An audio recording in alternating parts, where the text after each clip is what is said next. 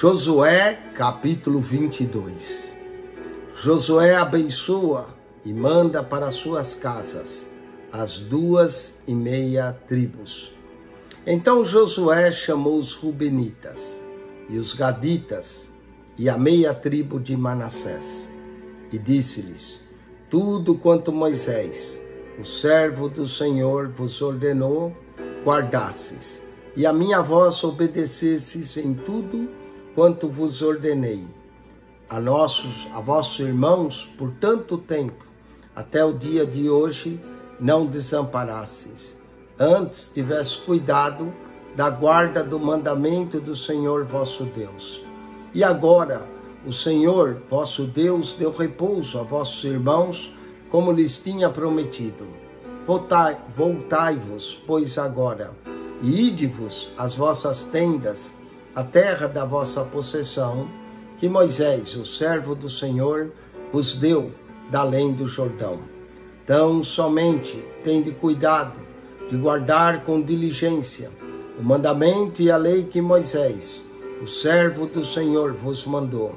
Que ameis o Senhor vosso Deus e andeis em todos os seus caminhos e guardeis os seus mandamentos e vos achegueis a ele e o sirvais com todo o vosso coração e com toda a vossa alma.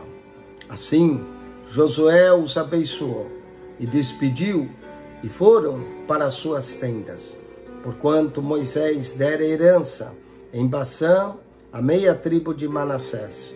Porém, a outra metade deu Josué entre seus irmãos daquém do Jordão para o ocidente. E enviando Josué também as suas tendas, os abençoou e falou-lhes dizendo: Voltai às vossas tendas com grandes riquezas e com muitíssimo gado, com prata e com ouro e com metal e com ferro e com muitíssima vestes. Reparti os vossos irmãos o despojo dos vossos inimigos. Assim, os filhos de Rubem e os filhos de Gade e a meia tribo de Manassés voltaram e partiram dos filhos de Israel de Siló, que está na terra de Canaã, para irem à terra de Gileade, a terra da sua possessão, de que foram feitos possuidores, conforme o dito do Senhor pelo ministério de Moisés. E vindo eles aos limites do Jordão, que estão na terra de Canaã, ali os filhos de Rubem, os filhos de Gade a meia tribo de Manassés edificaram um altar junto ao Jordão, um altar de grande aparência.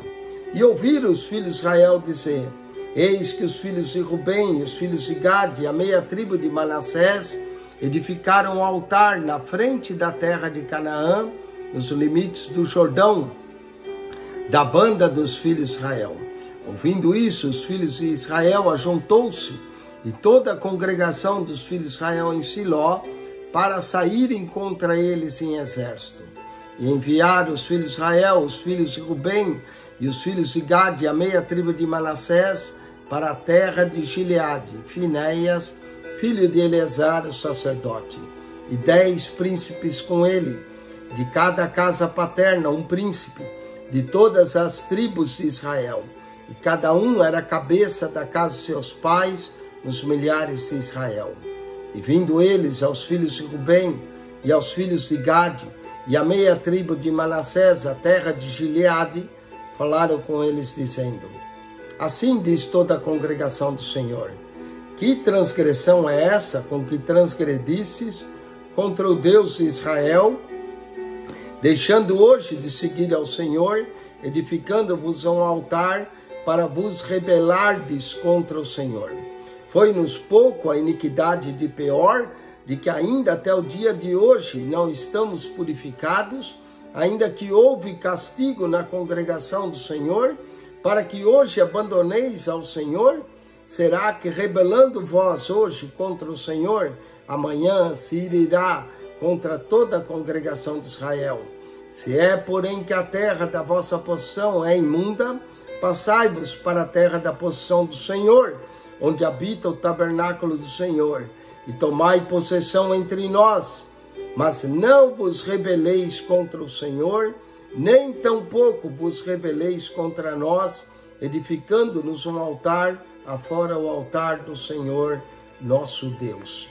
Não cometeu Acã, filho de Zerá, transgressão no tocante ao anátema, e não veio a ira sobre toda a congregação de Israel, assim que aquele homem não morreu só na sua iniquidade.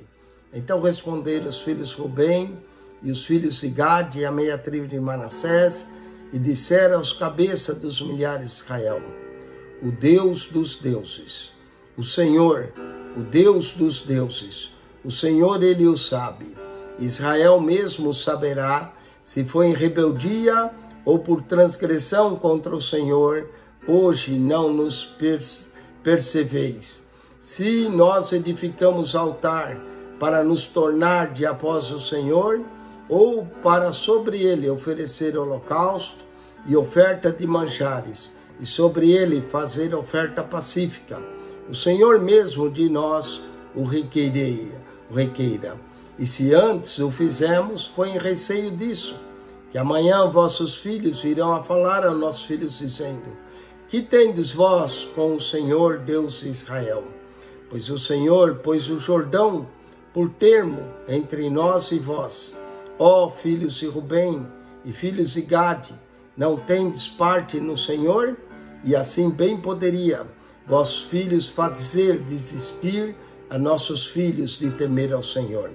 Pelo que dissemos, façamos agora e nos edifiquemos um altar, não para holocausto nem para sacrifício, mas para que entre nós e vós, e entre as nossas gerações, depois de nós, nos seja em testemunho para podermos fazer o serviço do Senhor diante deles, com nossos holocaustos e com nossos sacrifícios e com nossas ofertas pacíficas, e para que vossos filhos não digam amanhã a nossos filhos: Não tendes parte no Senhor. Pelo que dissemos, quando for que amanhã assim nos diga a nós e às nossas gerações, então diremos: Vede o modelo do altar do Senhor que fizeram nossos pais, não para holocausto, nem para sacrifício, porém para ser testemunho entre nós e vós. Nunca tal nos aconteça que nos rebelássemos contra o Senhor, ou que hoje nos abandonássemos ao Senhor, edificando altar para holocausto, oferta de manjares um sacrifício fora do altar do Senhor nosso Deus, que está perante o seu tabernáculo. Ouvindo, pois, Finéias, o sacerdote, e os príncipes da congregação, e os cabeças dos milhares de Israel, que com ele estavam, as palavras que disseram os filhos de Ruben, e os filhos de Gade, e os filhos de Manassé, pareceu bem aos seus olhos. E disse Finéias, filho de Eleazar, o sacerdote aos filhos de Ruben, aos filhos de Gade e aos filhos de Manassés. Hoje sabemos que o Senhor está no meio de nós, porquanto não cometeste transgressão contra o Senhor. Agora livraste os filhos de Israel da mão do Senhor.